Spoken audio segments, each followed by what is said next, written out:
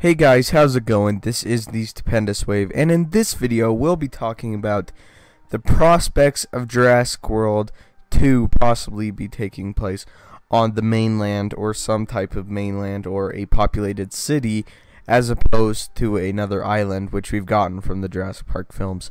Now, there are spoilers in this video for Jurassic World, so if you haven't seen Jurassic World, go ahead and watch it, then come back and watch this video. So, I think that walking the line between the mainland and keeping the Jurassic Park feel can be a very, very thin line. I think that a whole movie based around the mainland might not be a good idea, but similar to maybe even a little bit expanded to what it was in The Lost World, I would be okay to have dinosaurs on the mainland like that. I feel like the kind of island dynamic of Jurassic Park has to be switched up a little bit for this fifth film in the franchise.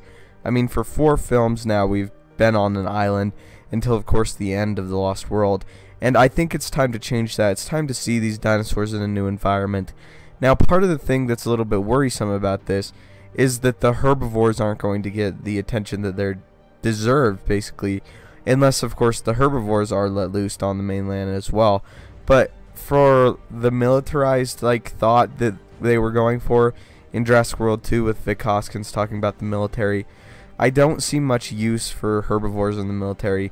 I'm sure you can use Stegosaurus to take out a lot of people and a Ankylosaur and of course the Triceratops, but they're not going to be as effective and like bloodthirsty as the carnivores are.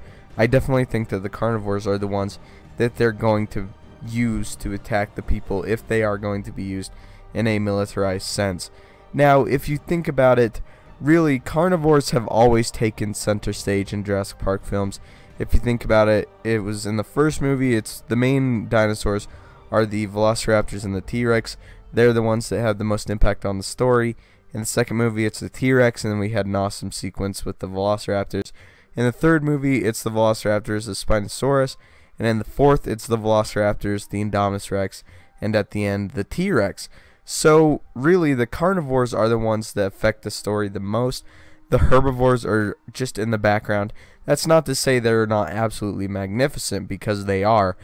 But what I'm saying is we might be able to get that initial feel of watching the herbivores just roam and be free in Jurassic Park towards the beginning of the second film and then have it transition to the mainland. Maybe the second half of the whole movie can take place on the mainland kind of maybe the dinosaurs get loose again, similar in the Lost World, because really, who wouldn't love to see another Indominus Rex loose on people in the mainland? That would just be crazy.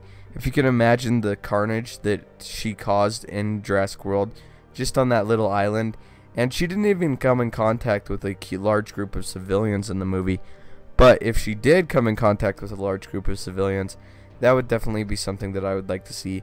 And then, of course, who wouldn't love to see velociraptors attacking people on the mainland? That would be definitely cool as well. I'd love to see maybe some hybrids get loose and attack people. Then they might even call in the military to deal with this stuff. And of course, the police would have to try and deal with it. We saw a little bit of that in The Lost World, but not a whole lot. It would definitely be interesting to kind of see police officers and the military almost have to like wrangle up these dinosaurs and make a decision whether or not to kill them or not because they're killing people. I think it could definitely be a nice little twist on everything. Like I said, it's been done before, but I feel like the island thing has been done before as well. And if they throw in enough new stuff, it can feel fresh and new. So that's just kind of my thoughts on it taking place in the mainland. I'm not opposed to it, although I feel like they need to integrate the herbivores into there somehow. Like I always say, I'm not a writer. I don't write the films. I just kind of come up with ideas. So it's up to them to determine how to get the herbivores evolved effectively in the story and how to make it so everything makes sense, how to make it that the dinosaurs did escape, kind of come up with a good reason for their escape, and just, yeah, just basically come up with some good concepts. So anyway, what do you guys think about dinosaurs possibly being on the mainland? Do you like it? Do you not like it? Thank you guys so much for watching. Don't forget to leave a like, subscribe, and have a great day.